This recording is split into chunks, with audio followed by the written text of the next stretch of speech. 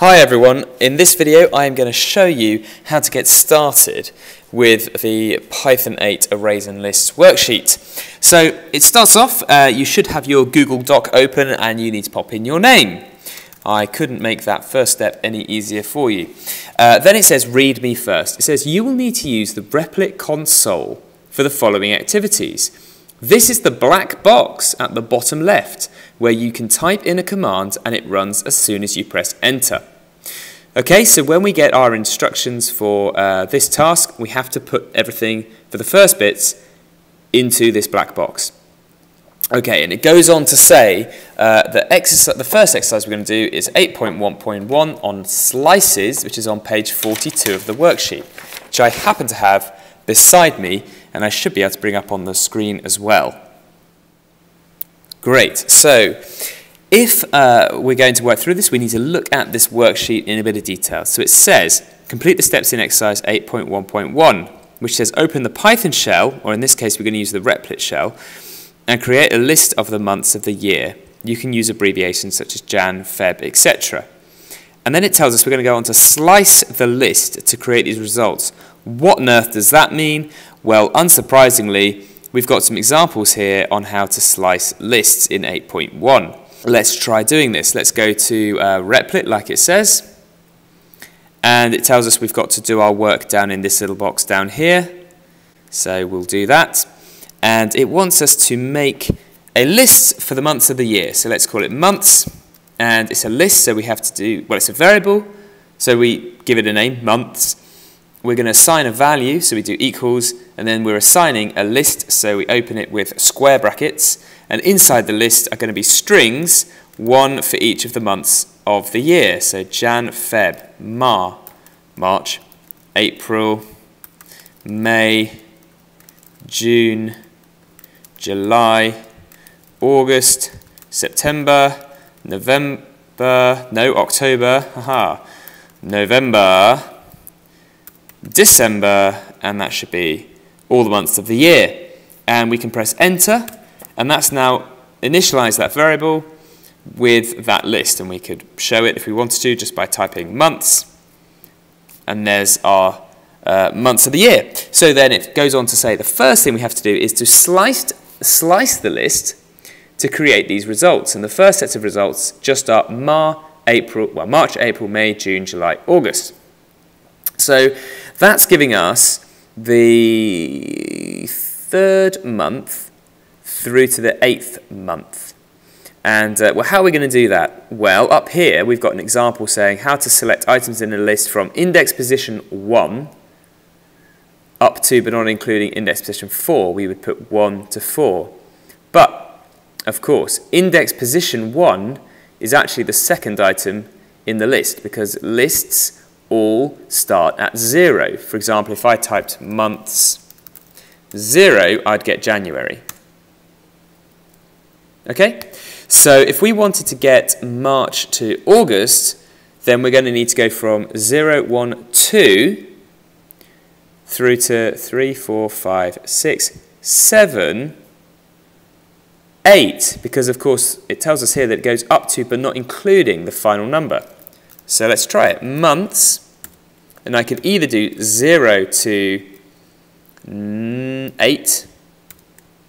Oh no, hang on, sorry, we want it from March, so that's 2 to 8. And this should work. March, April, May, June, July, August, Great, we've done that first one. Fantastic. Okay, uh, let's do the next one. It wants January, February, March, April. So this is just the first four items. Um, so which is index 0, uh, index 1, index 2, index 3.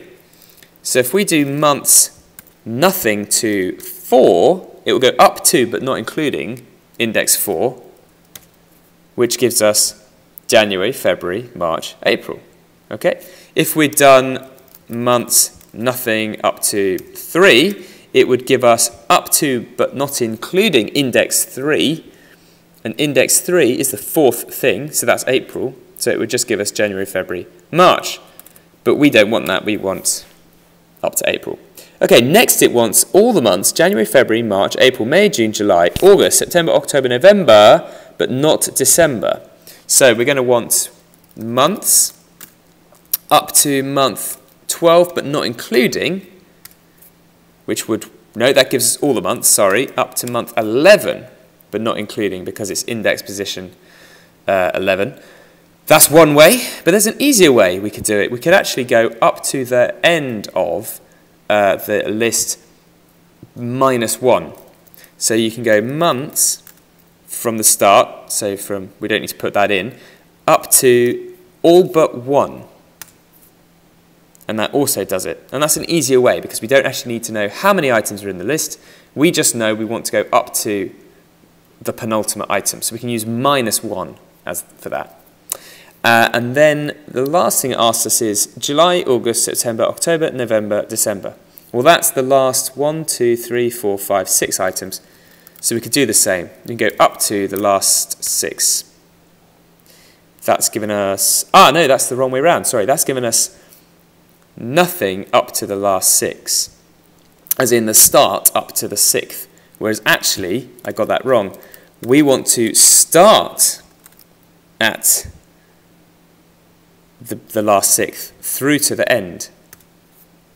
July, August, September, October, November, December. Yeah, so that's how it works. So again, we can do, so just to talk you through that again, we've done months, which is the name of the list.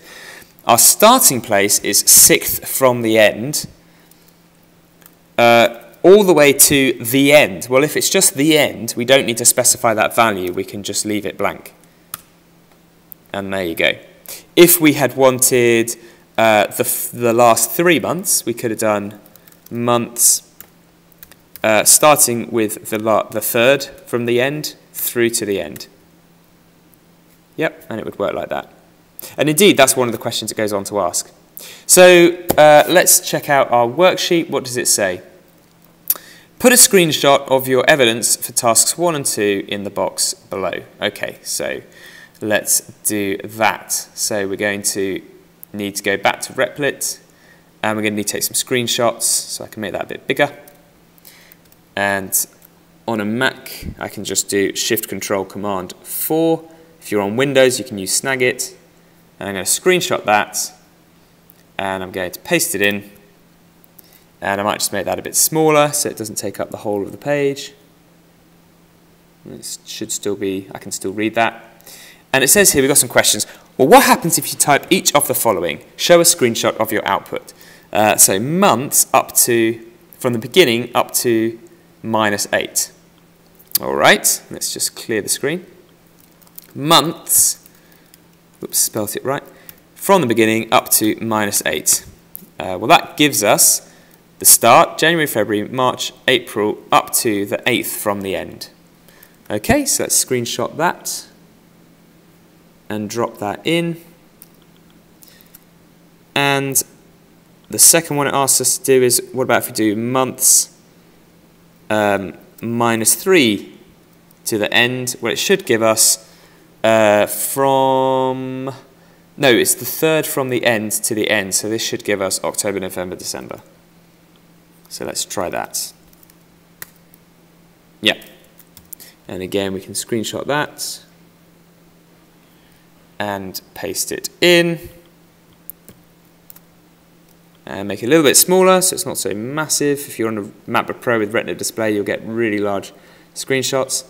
It says, what can you learn about slicing lists from the outcomes of these commands?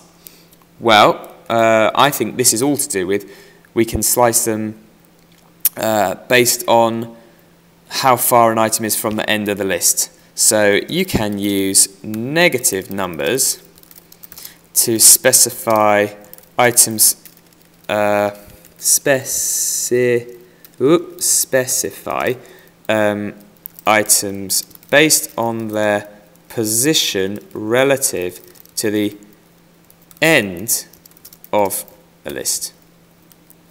For example, uh, and then we can use these examples, months, nothing, minus 8, uh, gave the months from the start of the list up to the 8th from the end. And let's just fix these spellings. There we go. And that's the first exercise done. Nice and easy. Um, you should be able to go through now and do the other exercises. So 8.2.1, um, which is here, again asks you, you've got to copy out the code basically and run it yourself and screenshot evidence that you've got each one working. And then for 8.10.1, you've got to give examples of all of these different steps. So multiplying lists, inserting items into the list, adding items to the uh, to the list, uh, onto the end of the list, um, checking whether something's in the list, finding the length of a list, deleting an item from a list, sorting a list, and reversing a list. So this exercise is to basically do all of those different activities with a list in the shell and screenshot each one, pasting it into the table in the relevant places. Once you've done that, uh, then we actually have to go into Replit and you're going to be following, rather than doing things directly in the console, you're going to be writing code following the instructions uh, from there to the end. And at various times, you will have to copy your code and screenshot your program's output and put it into Google Docs because as you work through the activity, you are going to be changing uh, the code. So you'll write it once, get it working a bit, screenshot it, then you'll go back and you'll amend it, fix it, screenshot it again, then you'll make some more changes, screenshot it again, and so on. So it's important that you do that so that each stage you can prove what you've done uh, and how your program's developed. Okay, so hopefully you'll find it actually very easy to fulfill the requirements of this worksheet.